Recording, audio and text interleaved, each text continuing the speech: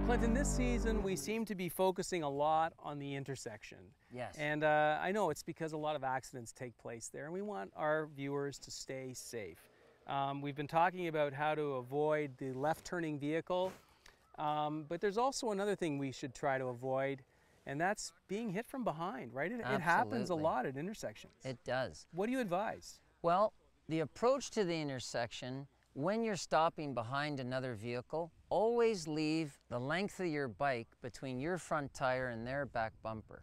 Mm, Often we pull right up behind that car. Right. And we haven't left ourselves an out, Dave.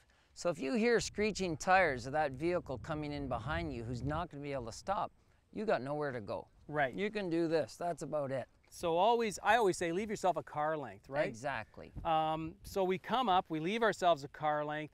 First thing you said um, earlier was check your mirrors, right? Absolutely. What are we the- looking for? the guy coming in behind us. Okay. So I do it actually on my approach. I'm still slowing down. I take a quick look.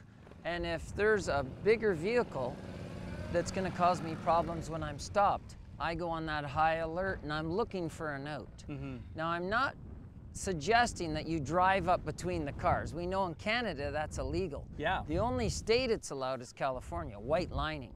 Very prevalent in Europe, Asia, but here, no policeman's going to charge you if, to avoid being run over, you simply went up between the cars. Okay. But you're not going to be able to do that if you stop right on their back bumper. Okay. So we got a couple things happening here. I'm leaving a car length.